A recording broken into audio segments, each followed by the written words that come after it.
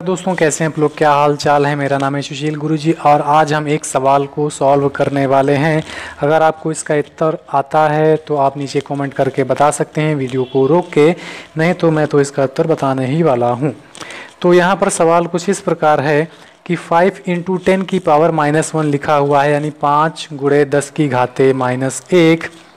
फिर उसके बाद दिया हुआ है प्लस सात गुड़ते दस की घाते माइनस दो, यानी सेवन इंटू टेन की पावर माइनस टू और तीसरा दिया हुआ है टू इंटू टेन की पावर माइनस थ्री यानी कि दो गुड़ते दस की घाते माइनस तीन। और इसको सॉल्व करने के बाद क्या आंसर आएगा, यही आप लोगों को बताना है। अगर आप इस सवाल को जल्द से जल्द कर सकते हैं तो वीडियो रोक इसका उत्तर कमेंट ज़रूर मुझे करें। तो आइए इसको सॉल्व करते हैं। तो सवाल कुछ इस प्रकार है। जैसा कि हम देखते हैं कि यहाँ पर दिया हुआ है फाइव इंटू टेन की पावर माइनस वन अब इसको हम कैसे लिख सकते हैं? टेन की पावर माइनस वन का मतलब ये होगा कि फाइव गुड़े एक बटे दस. यानी कि किसी के ऊपर अगर माइनस में घात लगी है तो वो नीचे बटे में चला जाता है। ठीक है? तो इसको हम लिख सकते हैं पाँच बटे दस। जब हम दस का भाग इसमें देंगे पाँच में तो ये कुछ आएगा पॉइंट ज़ीरो फाइव। ठीक है? अगला पद देख लेते हैं। अगले पद में दिया हुआ है सेवन इंटू टेन की पावर माइनस टू। ठीक है? तो यहाँ सेवन इंटू टेन की पावर माइनस टू दिया हुआ है। तो यहाँ पर जो दूसरा पद दिया हुआ था, आप देख सकते हैं, वो ये है कि सेवन इंटू टेन की पावर माइनस टू है। ठीक है? इसको आप कैसे लिख सकते हैं? इसको आप लिख सकते हैं, seven into one upon ten की पावर माइ टेन की पावर टू ये भी आप ध्यान रखिएगा कि जब घाते माइनस में हो, यानी घात पावर माइनस में हो तो वो बटे में चली जाती है नीचे चली जाती है, लेकिन तब वो जब नीचे जाती है, तब वो प्लस में हो जाती है, जैसा कि यहाँ आप देख रहे हैं।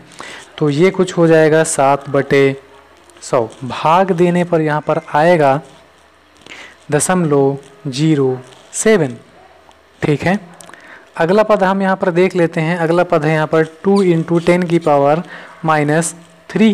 तो ऐसा ही इसमें भी करेंगे। तो यहाँ पर कुछ हो जाएगा दो बटे एक हज़ार। ठीक है? दो बटे एक हज़ार कैसे हो जाएगा? क्योंकि टेन की पावर थ्री हो जाएगा और टेन की पावर थ्री को हम एक हज़ार ही लिखते हैं, यानी कि वन थाउज़ेंड भाग करने पर आएगा, क्या आएगा? पॉइंट ज़ीरो ज़ीरो टू तो जितने भी पदों के जो जो आंसर आ रहे थे, सबको हम जोड़ लेते हैं। तो सबसे लास्ट वाला आ रहा है ज़ीरो ज़ीरो टू आपको इसमें सबसे बड़ी बात जो ध्यान में रखनी, वो ये है कि दशमलव के नीचे दशमलव ही होना चाहिए, तभी आप ऐड कर सकते हैं, यानी कि जोड़ सकते हैं। आपने दशमलव के बारे में पढ़ा ही होगा। ये दूसरे पद का आंसर था। दशमलव ज़ीरो सात, तीसरे पद का आंसर क्या आया था? यानी सबसे जो पहला है, उसका आया था पॉइंट फाइव। तो इसको जब आप ऐड कर देंगे जो हो जाएगा टू, सेवन, फाइव, ये पॉइंट और ज़ीरो। तो इसका आंसर आएगा ज़ीरो दशमलव पाँच सात दो। धन्यवाद।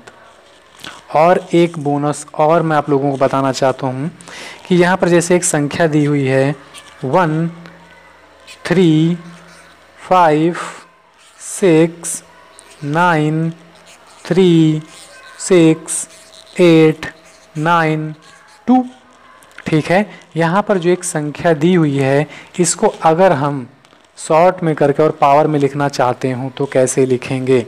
तो ये कुछ इस प्रकार हो जाएगा। पहले एक के आगे कितनी संख्याएँ हैं उसको हम काउंट कर लेते हैं। एक के आगे है एक, दो, तीन, चार, पाँच पाँच, छः, सात, आठ, नौ। ठीक है? नौ संख्याएँ हैं तो ये कुछ इस प्रकार हो जाएगा।